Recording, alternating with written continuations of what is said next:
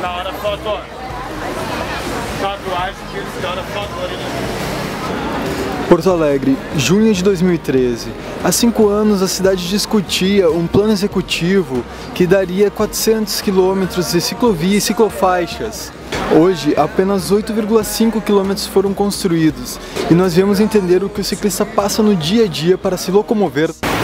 Estou na esquina de um dos pontos mais movimentados da cidade, próximo ao mercado público e à prefeitura de Porto Alegre. Eu vou começar o trajeto aqui.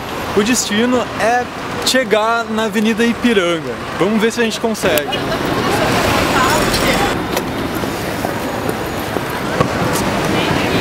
Anda de bicicleta há quanto tempo na cidade? Ah, eu comecei nesse ano, uh, há uns dois, três meses mais ou menos. E como que é andar pela cidade? É assustador. Dá pra perceber, aqui não há carros ocupando o lugar da bicicleta, mas os pedestres estão em todos os locais, é, é difícil. Aqui eu simplesmente não sei para onde eu vou.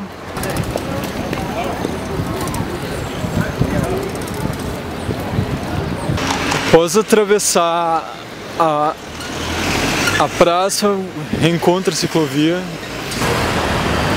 Agora estou chegando na Casa de Cultura Mário Quintana, um dos pontos onde tem uma das 23 estações do Bike Poa. No total são 230 bicicletas.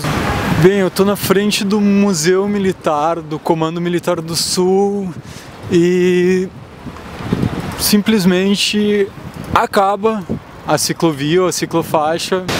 Um dos problemas que é mais facilmente perceptível não é só o, os poucos quilômetros que há de ciclovia e ciclofaixa, mas é o fato deles também não serem ligados uns aos outros.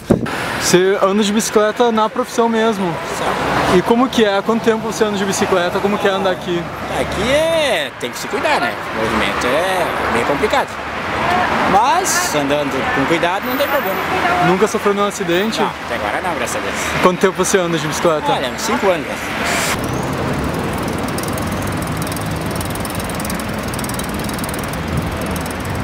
Vem táxi, vem ônibus. Eu não sei para que lado eu vou, porque eu não tenho espaço na calçada, eu não tenho espaço na rua. E o melhor é andar rápido e cuidar para não ser atropelado.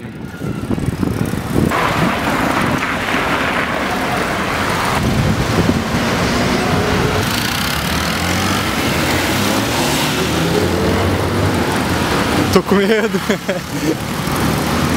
e eu vou subir a calçada porque eu não quero ser atropelado. E é errado, deve ser errado, mas eu não sei pra onde eu vou. Uh, diversas vezes eu fui quase esmagado entre dois carros, eu, eu fui derrubado pra calçada.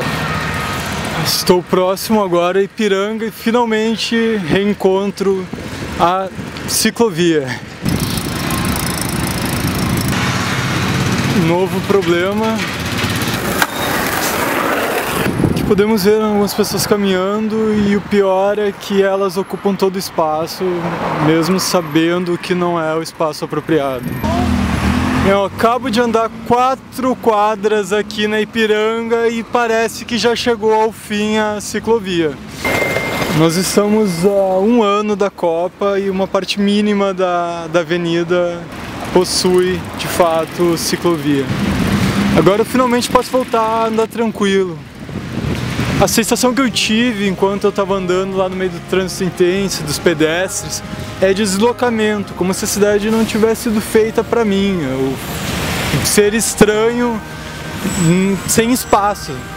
A calçada não é minha, a rua não é minha, e onde que eu vou? Onde que eu vou andar?